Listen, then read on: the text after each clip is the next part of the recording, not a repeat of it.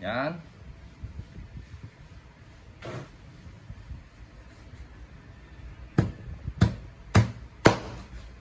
Yan.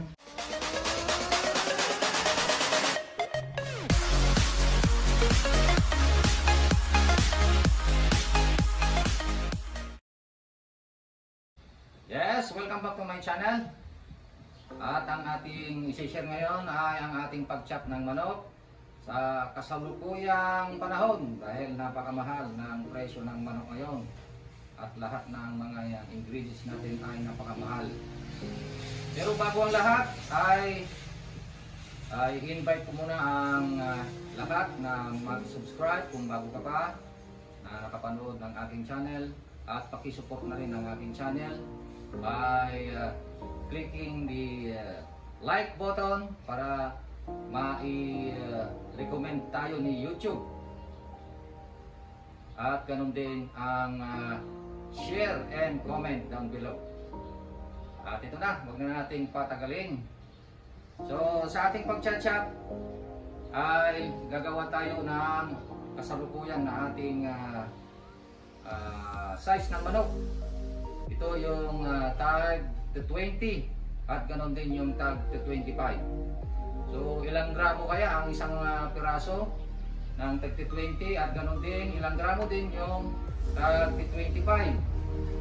At magkano kaya ang pwedeng uh, mapagbentahan natin sa isang kilo kapag ka uh, gagawa tayo ng tag to 20 at ganon din doon sa tag to 25. So malalaman natin ngayon sa video ito. So meron na tayong whole chicken dito. Ito ay may kasamang ulo. Wala lang paa or adidas. Itong klase ng manok ay galing ito sa mga local dresser. Sa mga supplier natin na local dresser. Kasi pagka galing sa mall, ah, galing sa kumpanya ay tinatanggal nila yung ulo. Ganun ang pagkakaiba ng uh, dressed chicken sa supplier natin sa labas at doon sa mall. Ngayon ay uh, tignan natin kung magkano or uh, ilan ang kilos nitong isang pirasong ito. At para sa kaalaman ng lahat, ang ideal na kilo ng manok na pang fried chicken ay from 0.9 to 1.3. So tingnan nga natin kung ano ang kilos niya.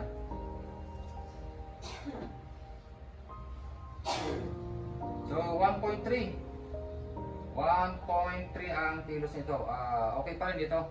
Ideal pa rin. Yan. Ang gagawin natin ay yung tag 25. Kasi ah, sa ibang mga outlet ay nagtaas na tayo ng presyo tag 25 kasi nga ang mahal ng puhunan ngayon ng manok. So ang uh, target natin, alam niyo uh, bago kayo mag-chop, kailangan niyo munang magkwenta. Ano kung ilang uh, piraso ba ang pwede natin gawin sa isang kilo? Uh, ang isang kilo kasi kapag ginamit natin ng digital ay mayroong 1,000 grams 1,000 grams kaya tingnan natin kung ilan ang makukuha doon sa isang kilo ilang grams ang pwedeng makuha para kapag ka, ang manok ay tigla 160 per kilo ang mantika ay uh, isang container ay 1,700 at ang harina ay 850 so nakapara, na napakataas ang mga presyong yan. Uulo na naman si Kalpo TV Agilo ka nung aksan na eh Bale, uh, pagtsagaan nyo na lang yung ating Tagalog para maintindihan ng lahat. So, ang 1,000 grams ay isang kilo nga. Uh, gawin natin na at least ang uh, mapagbintan ng isang kilo ay 320 something like that 320 so kapag ka 30-25 subukan natin yung 70 to 75 grams per piece. So, ganun ang gawin natin sa 30-25 pesos. Ang una ay tanggalan natin ng ulo. Yung ulo ay hindi natin magbibinta ito ng 25. Kaya litan na lang natin para tag 10, tag 10. Hindi, ito yung ginagawa namin 10 eh, yung ulo. Yan. So ganyan. Tanggalan yung tuka at yung bituka. Yan. So yan na yung ulo. Yan, ang gawin natin. Wala nang anumang arte-arte ano. So ganito yung pag-chop natin. Alam niyo yung technique ng pag-chop ng pang fried chicken.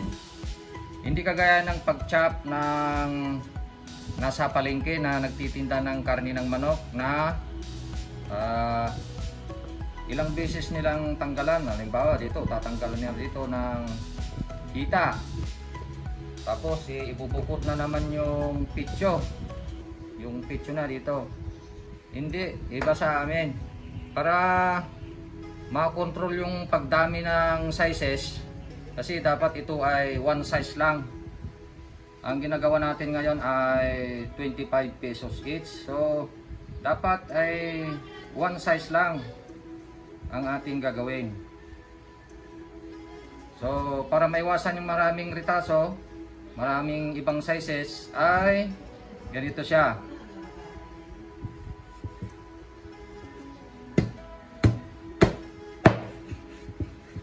Yan.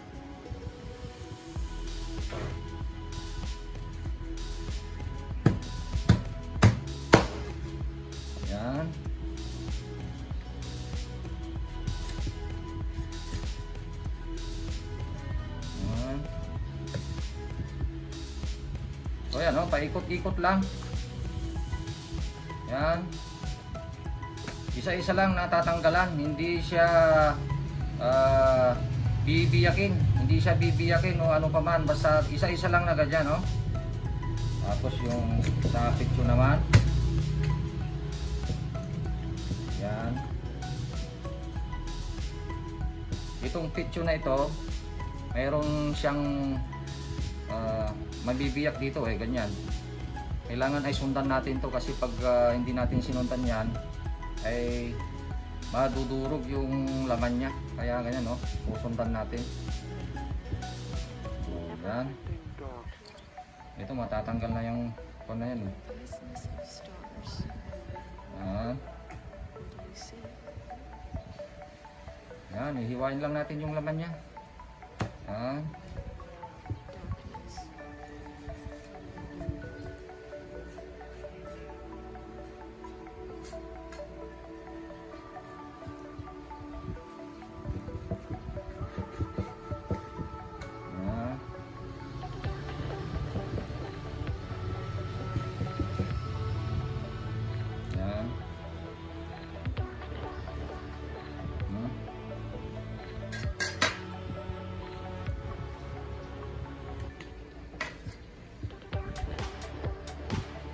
Kung napapansin ninyo ay hindi pa naka hindi hampay nga naisina sa Ilocano nung tawag dito. Yan oh. Nakakabit pa itong uh, picture niya. Hindi nakakabit pa, hindi pa na na tawag dito, na itatanggal dito sa may ah, backbone niya. Ang purpose purpose noon ay para hindi magkakaroon ng ibang size. Kailangan magkakabit yan para Ah, kung halimbawa ganito oh. Yan. Oh. Oh, pwede kang kumuha dito sa banda dito sa may ribs. Baka kulang yung yung uh, magiging size niya kaya ganyan. So, sa bandang puwet,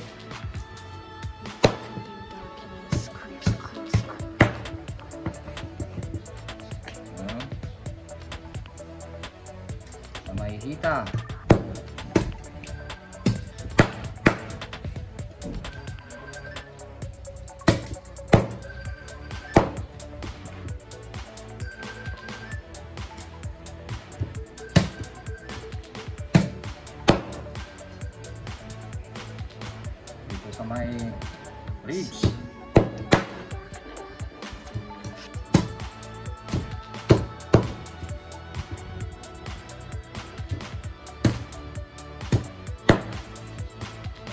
na to ay tagsasampu na lang ito. Bali, mapupunta sa ritaso. Ito yung kasama na na ulo, ritaso. Ito yung tagsasampu namin. Ngayon ay titignan nga natin kung nakakuha natin yung target na grams natin. Yung 70 to 75. 70, ayos. 75, ayos. Kuha natin. Itong ah, ribs, Invest 70, ayos. Ah, hita, itong hita. 80, medyo malaki.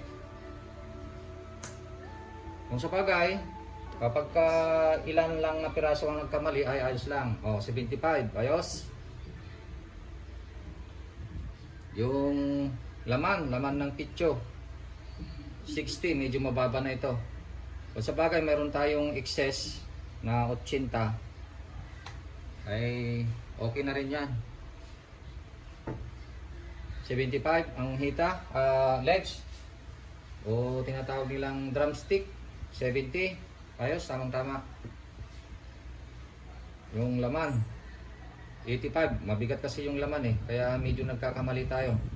So ganun pa man ay okay lang yan. Pagka mga ilan-ilan lang na mistake o yan, 75 so 72 to 75 yan yung ideal na size natin. So halos nakuha natin.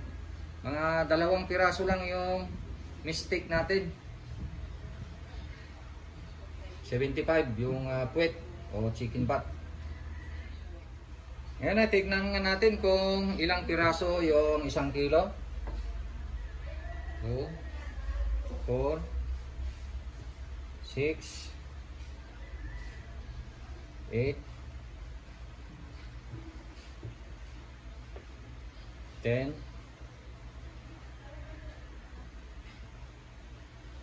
12 13 14 So yan oh, 1.0 Yan yung isang kilo. So nakakuha tayo ng 14 Kapag ka bininta natin to ng 50-25 ay magiging 350 pesos. So tamang tama po yan. Dahil sa ah, mahal ang puhunan ngayon ng fried chicken kasi nga ang mahal ng mga ingredients natin so tamang tama lang yan 350 yung mapagbibintahan natin kapag ka tagti 25 pesos yung ating ginawa ngayon tapos na tayo sa tagti 25 ay punta naman tayo sa tagti 20 ang aking ah, model na chicken ngayon ay galing naman to sa mall medyo mas maliit yan, wala siyang ulo. So, galing ito sa mall. Yan, tignan natin kung ilang kilo ang isang piraso. 0.9. So, 0.9, okay pa rin siya. Okay pa rin. Ang gawin natin sa 30-20 ay siyempre mas maliit. Mas maliit. Hanggat maaari ay gagawin natin siyang maging 320 or 340.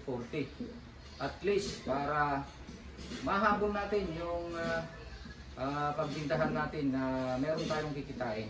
Yan mga kalakay, sa ating pagchap naman ay ganito, as usual ay yung paunti-unti nating tatanggalan ng mga parts ang manok. In, hindi pwede yung uh, uh, hati-hatiin natin para maiwasan ang maraming mga ritaso. Kailangan one size only ay unti-unti nating tatanggalan ng mga parts ang manok. Ito po yung ah, tamang pag-cut o pag-chop ng manok na pangnegosyo para sa fried chicken. Ito. So, ah, mas maganda na mas maliit ang size ng manok ay mas maganda. Kasi maliliit yung size na gagawin natin ngayon. So, ang ah, target natin ay 60 to 65 grams per piece. Kasi kapag ka 6 to 60 to 65 grams ay makakagawa tayo ng about 16 pieces sa isang kilo. So, kapag ka nabenta mo yan ay 320 pesos. Yan.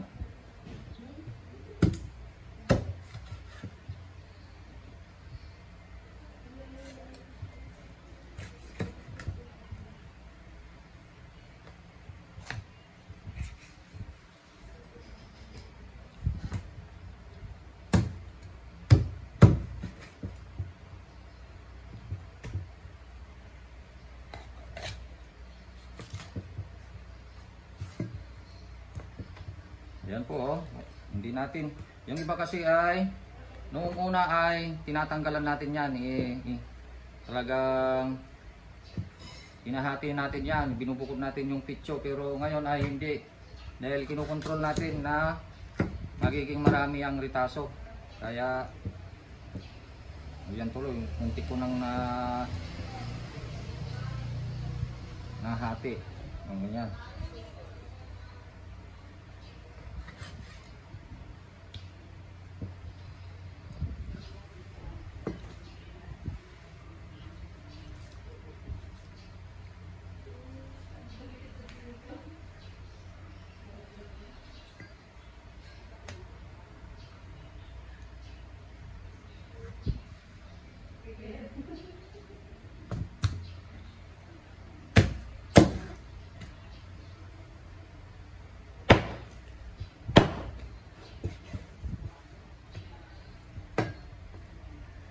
Ayan.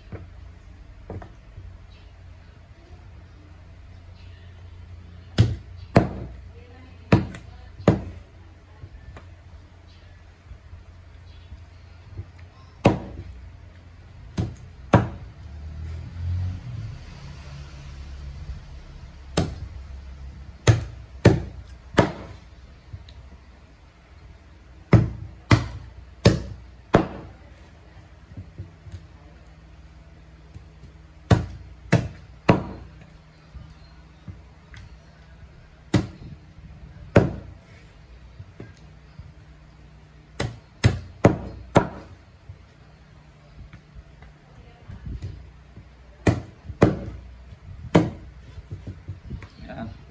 Itong leg ay ritaso na yan, 10 na yan.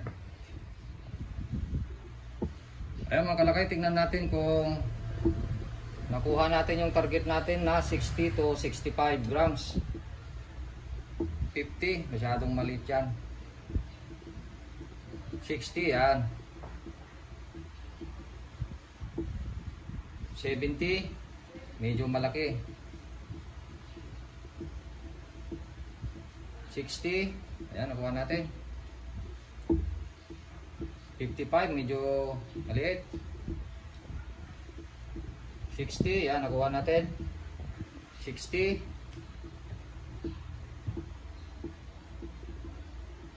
60. 70, medyo malaki.